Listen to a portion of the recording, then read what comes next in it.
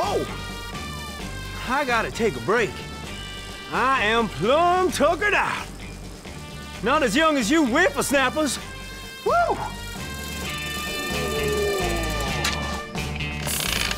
Oh, Lordy! I gotta get myself some bicycle shorts. That's rawhide. Well, howdy, y'all. I'm the Seatbelt Sheriff. Yeehaw!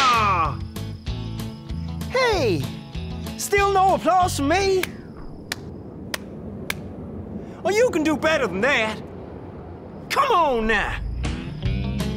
Anywho, while I'm here, why don't I talk to y'all about cycling safely? First of all, if you're under 12, you gotta make sure you have an adult or responsible person, like me, with you while you're cycling in the traffic. Next, you have to obey the rules of the road like everyone else. You must obey road signs and the traffic signals. And if there's a cycle lane, use it. Otherwise, cycle on the left. Make sure your bike is the right size and both feet can touch the ground. Have a front white light and a back red light. Whoa! Where'd all those hands come from? Oh, and a bell. Always wear your high vis day and night.